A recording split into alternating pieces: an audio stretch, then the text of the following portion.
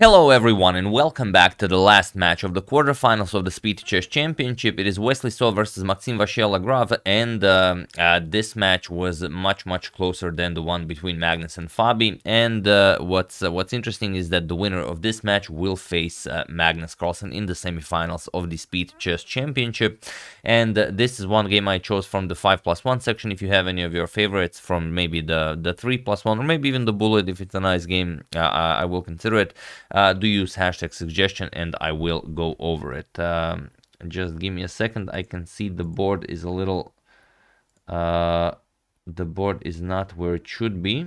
Uh, so just give me one second. There we go yeah, for some reason, for some reason, sometimes the interface just shifts uh, and I don't pick up on it, and then it lasts like for a few videos. But then I see someone in the comments mentioning it, and then uh, I, I realize what's happening. Uh, but okay, let's check it out. Features a very nice Sicilian defense, and whenever we have a, a MVL uh, wielding the black pieces, then you know it's going to be a great Sicilian uh, win or lose. So Wesley with the white pieces opens with e4.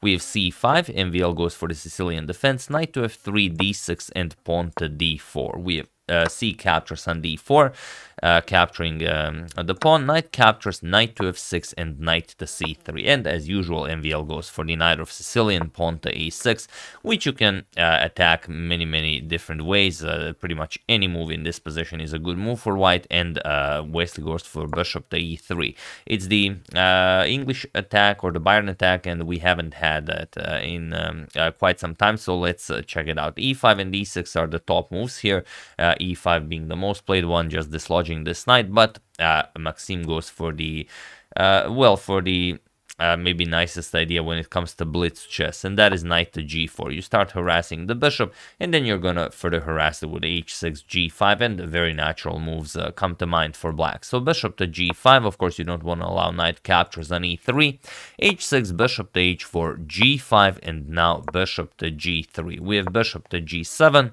uh, putting pressure on the knight here, and just queen to d2, preparing to castle queenside, knight to b3, uh, sorry, knight to c6, first attack attacking the knight, knight to b3, this is all uh, top, uh, top theory, and now knight g to e5, now this knight is beautifully placed on this central square. We have h4, uh, g4, and now queenside castles by Wesley, and there are some games where b5 was played, but here Maxime goes for bishop to e6, and it is now, as of move 13, that we have a completely new game. So Maxime probably knows uh, all, all of this as this is uh, uh, his territory. B5, uh, like I said, has been played before. Bishop T6 is a, is a new move, and even though uh, the engine says B5 is uh, the, the top engine move, MVL probably thinks that Wesley knows this as well. So he tries the, the second best move. Maybe it will confuse Wesley a little bit. And okay, knight to D5. This is a standard square for this knight in, in, in the Sicilian. Rook to C8, and now king to B1 uh, will be very useful to get the king off of this diagonal. And uh, if the black queen ever finds her way to a5, you also want the a2 pawn to be defended. So here, pawn to b5, MVL starts his expansion on the queen side, and pawn to c, not c4, pawn to c3, pawn to c4 would be a terrible move. Uh, now it, it uh, defends against this knight, also the bishop is not as strong, and now uh, oh, it's it, it's a it's a good move um, all, all, in all. So knight to c4, attacking the queen, uh, putting pressure on the b2 pawn, and saying, okay, if you wanna keep the queen on the board, or rather not not trade bishop for the knight, you have to move the queen somewhere, either to c1 or to c2 or maybe e1. Uh, but Wesley decided, as this is a five plus one blitz, it's better to get rid of this knight, as in blitz, or or you know pretty much always, but in blitz knights are very tricky bastards. So bishop captures on c4, b captures, and now knight to c1 rook to b8, and now you can already see all the pressure that um, uh, Maxime's bishop and rook are putting off to that white uh, queen side. Uh, f4 by Wesley, and now uh, we have g captures on f3. And this is one of those uh, moments before Wesley plays f4 uh, he thinks, uh, and uh, whenever you have a position like this, you you're always thinking to yourself. If, if you're playing with the black pieces here, you're, you're thinking, if white plays g4, I'm just gonna capture f cap, g captures on f4 en passant, and that's exactly what the player with the white pieces is thinking, and that's exactly what happened here. F uh, f4 and G captures on f4 en passant, but Wesley missed, or rather Maxime missed um, a very nice winning idea here, and that is queen to a5 without touching the pawns, uh, because there's uh, not all that much you can play now, because bishop captures on c3 is a huge threat. You will not be able to uh, to pick it up. Uh, of course, you, you will first eliminate the knight, remove one of the defenders of the c3 pawn. So let's say knight to e2, adding a defender to the c3 pawn, but it doesn't matter. Now we will play pawn to f5, and now, of course, if captures, then uh, the, the bishop will be able to capture with um, uh, with the, uh, delivering a check, and of course, if knight to e3, just adding uh, another defender, uh, then you will castle, and your position will be spectacular here. Uh, but okay, not easy to pick up in a 5 plus 1 game, so g captures on f3 by Maxime, g captures on f3, and now queen to a5. But now it's a little bit different uh, because now knight to a2 can um, nicely be played. Now pawn to f5 doesn't really do anything as the pawn is on f3, it's not on f4. So here knight to e5 uh, and here Wesley says, all right, let's get rid of that knight. Bishop captures, bishop captures, and pawn to f4 now.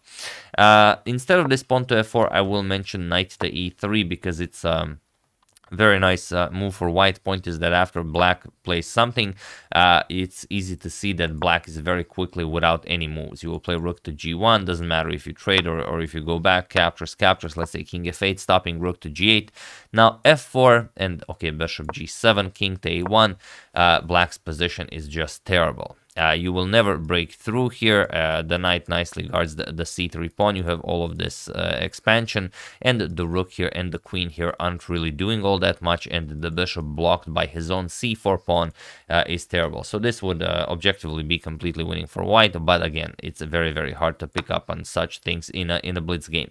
So the immediate f4 by Wesley, we have bishop captures on d5, e captures on d5, and now bishop back to f6 queen to c2, and now rook to g8, uh, grabbing that semi-open g file, king to a1, getting rid of uh, the king from, from the b file, and now king to d7, uh, developing the king, sort of connecting rooks, and now comes knight to d4. Uh, here, the the way to play this is maybe queen to f5 check, and then after the king moves, now you centralize and you uh, hold. You just hold and uh, nothing bad can happen to you. However, Wesley played knight to d4 here and uh, he probably didn't uh, blunder the, the d5 pawn. He probably wanted to sacrifice it for activity, uh, but it doesn't really work out uh, in his favor. Queen captures on d5 was played by Maxime rook h to e1, and now comes rook to b6. And this is the move that um, uh, Wesley probably didn't take into consideration. Uh, his idea was that if rook to g2, attacking the white queen as the black queen defends the rook, uh, uh he, he had queen to a4 check in mind, and then everything is perfectly fine. For example, if king to c7, you can even play knight to e6 check, and you pick up the black queen. Okay, uh, black is not lost or anything. Black will gain some material for, for the queen, but it's okay. Queen f5 check. This pawn is hanging. This pawn is hanging. The rook is nicely placed on the e file. Um, it's a it's a fine position. Uh, but uh, Maxime played uh, rook to b6 instead, and now he's uh, he he gains more control over that c6 square that Wesley will try to take advantage of. Uh, so Wesley plays knight to f5 here, and this move completely blunders the game for Wesley. So feel free to pause the video now and try to calculate why this is so. While I give you a couple of seconds, it's quite a quite a nice maneuver.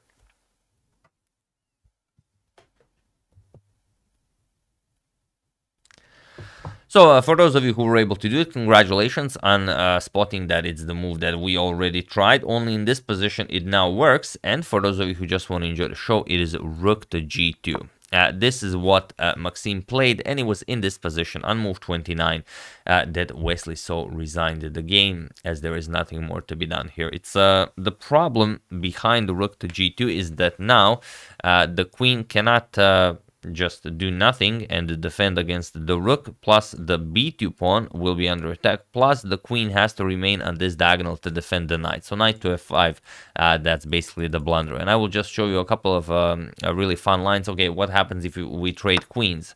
Rook captures, rook captures on c2. Uh, how do you play this? The, the b2 pawn is hanging. If you play rook to b1, then it's just a very nice checkmate. Rook b captures on b2 check Rook captures, rook to c1 check, only move rook to b1, and now bishop captures on c3 will be checkmate. So after this rook captures on c2, you can't really play rook to b1. You have to play something, but what? If you play knight to d4, uh, it's it's uh, it's one possibility, but still just rook c captures on b2, and this will now be a problem to give you uh, maybe a nice line, rook to c1, you want to defend on c3, e6 attacks the rook and after the rook moves now you just pick up the knight and create a pass pawn. You're gonna push it to c3 white cannot capture because of checkmate on b1 and whatever you play doesn't really matter. You're gonna play c2 and now there is no defense against uh, uh, rook to b1 check this will be checkmate. Or you can play rook to b3 defend mate this way but then okay we just capture rook captures. A captures and now rook to b1 check you can even go into a king and pawn endgame and this is now completely winning for black if you if you're new to chess. Uh, a pawn up in a mostly every situation uh, in, in a king and pawn endgame will win you the game. There are of course positions where it will not uh, but more often than not it, it will. So that's one of the reasons if you after rook to g2 you just go for for a nice queen trade.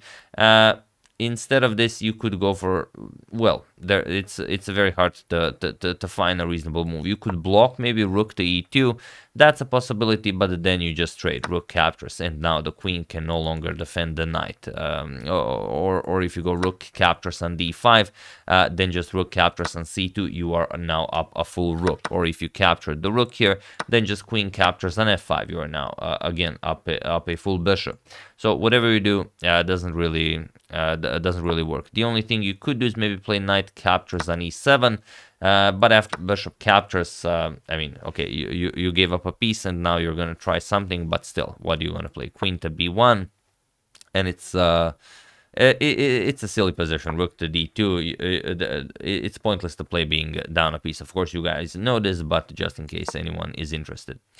Uh, so yeah, after rook to g2, Wesley doesn't want to uh, look at this game any anymore, and of course uh, it was in this position that he resigned the game. And what happened in the uh, during the entire match? Well, here are the uh, results of every time uh, time control. In the 5 plus 1, Maxime Vachier-Lagrave won with a result of 6 to 3. Then Wesley won the 3 plus 1 section with a result of uh, 5 to 4. So he bounced back a little bit. He was down by only 2 points. And during uh, the bullets, uh, the bullet section, he even equalized. At some point, he was down 4 points. Then he equalized. The result was 10 10. Uh, but in the end, uh, Maxime got a winning streak and he, he, he, won like 4 games in a row. And in the end, the result was 16 and a half to 12 um, and a half. So sort of equalish, but uh, in the end, Maxime was better, especially in that 5 plus 1 uh, format. That was. Um, uh, there he was just much better. Also in bullet, but Wesley won the 3 plus 1 section. And what does this mean? Uh, like we said, the winner, the prize for winning this match is uh, playing against Magnus Carlsen in the semifinals of the Speed Chess Championship. Uh, this is, uh, sorry, this is what's happening. So you have uh, Nakamura will face Nihal Sarin in the semifinal, and now we know that Magnus Carlsen will face Maxime Vachier-Lagrave, uh, and then we'll see uh, we'll see who will meet um, uh, in the in the finals of the Speed Chess Championship. Of course, everyone is rooting for for for Magnus and Hikaru, but Nihal uh, really just crushed everyone he played. So we'll see if if he will be able to uh, do something against Hikaru uh, you know, it, it's going to be a great match. Uh, so yeah, that's the game. Hope you guys enjoyed it and a little bit of uh, extra info on the side. Uh, I would like to thank uh, Timothy Rosen, Chris Robert Picard, Sapan Bhatia, Sarah Hamilton, and Jonathan Hira- for your contribution to my channel. Thank you a lot. I really appreciate it. As usual, you can check two of my previous videos here. Thank you all for watching, and I will see you soon, continuing to check up on your wonderful suggestions and whatever else happens in the chess world. thank you all. I will see you soon, and have an excellent rest of your day.